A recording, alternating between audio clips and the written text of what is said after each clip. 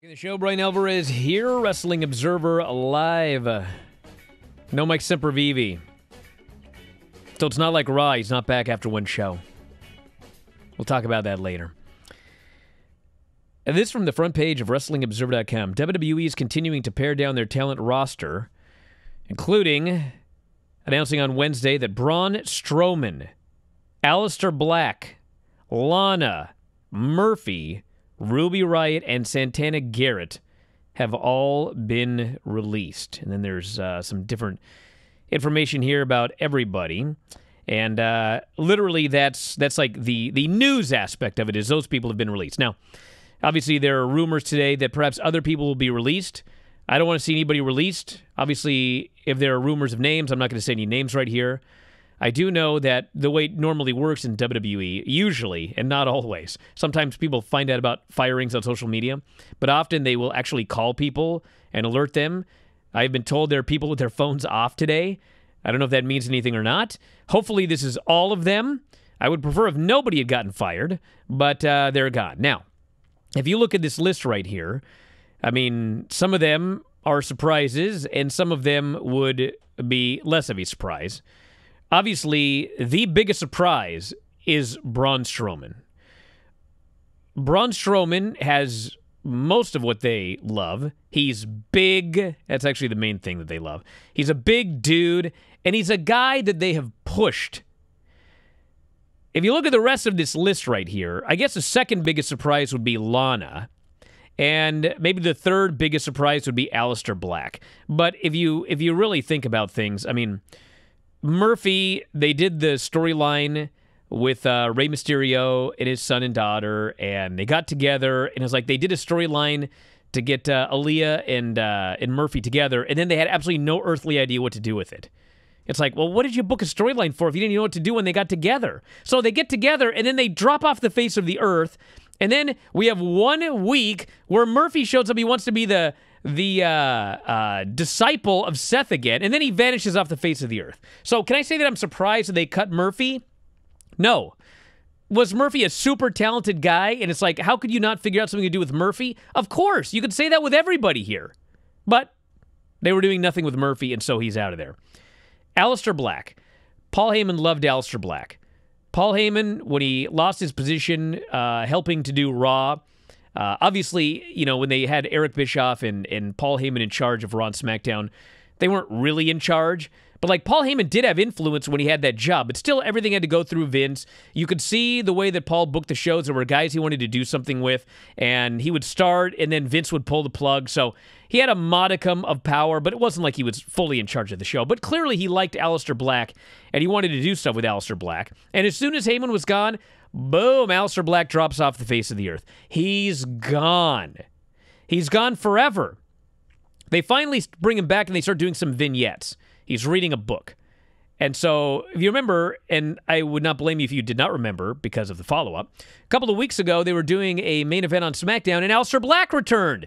They had done a 30 minute multi person match, and after all of this great wrestling, Aleister Black shows up, and it's a distraction finish. And actually got in the ring and was involved in the finish. But that was like the main event angle of SmackDown. Did you watch the SmackDown the week the week after? He's not there at all. Zero follow up. Do you know what the excuse was for Aleister not being on the show? We didn't want to rush it. Can you imagine? And obviously, it's not the same thing, but it's just like the first big angle that I could think of. Remember when Hulk Hogan turned and joined the New World Order? Can you imagine if he wasn't, like, there was no mention of the New World Order on Nitro the next day, and the excuse was, we don't want to rush it? You shot a major angle on SmackDown, and the guy wasn't even there. There was no mention of it the following week. Well, then he gets released.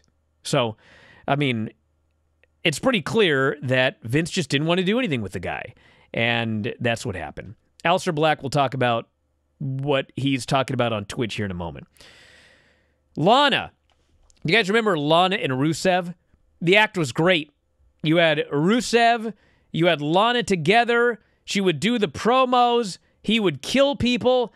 Everything was great. So, what do they do? Well, we can't leave good enough alone.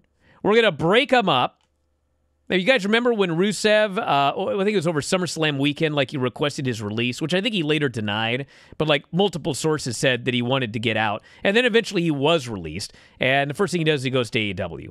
Lana, meanwhile, they did the storyline where, oh, we want to get Lana over. So we got this plan, and that is we're going to beat her on every single solitary show, and that's going to get her over. Well, lo and behold, it didn't get her over. So then she's just floundering. She's doing random matches. I mean, everything that they had with with Lana and Rusev that worked, they stripped all of that away. They wanted her to be a wrestler.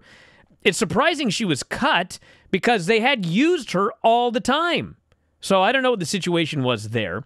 Ruby Riott, I mean, Ruby Riott's a very talented wrestler, but I mean, in my opinion, watching the show, she did not care at all for a long time.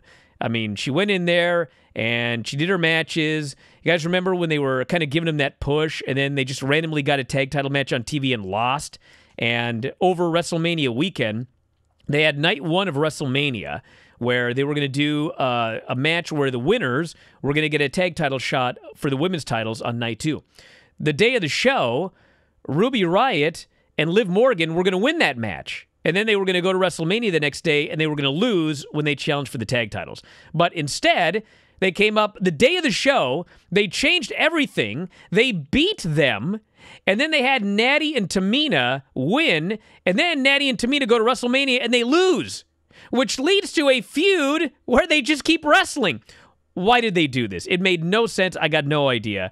Uh, you could watch Ruby on SmackDown, and she was she was there, but it didn't look to me like she was there. So uh, maybe she saw the writing on the wall. I don't know. And uh, Santana Garrett, you know, she had been in NXT, and uh, she was scheduled to be called up to the main roster, and she's waiting to be called up, and then they fired her. She never even showed up on the main roster.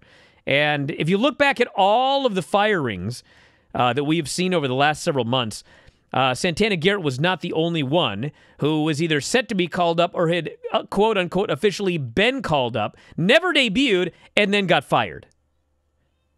So then, of course, we've got um, Aleister Black was on Twitter, and uh, Aleister Black said that he was told that it was uh, budgetary reasons.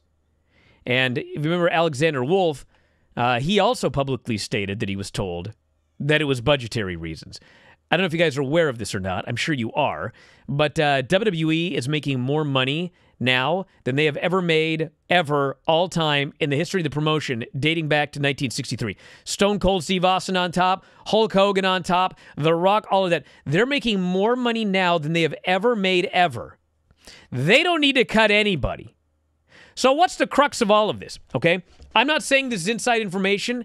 I have no idea, okay? But I do know, and I guess if you want to report this, you can. There are a lot of people in WWE, in and around the business, fans. It's no secret.